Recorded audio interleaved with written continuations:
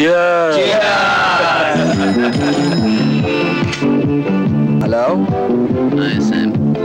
Who's speaking? Jimmy's manager.